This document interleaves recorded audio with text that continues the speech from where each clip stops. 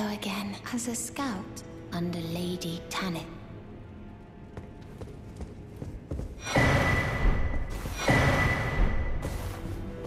Who are you, and what in heaven's a volcano manor is it? I hope you understand.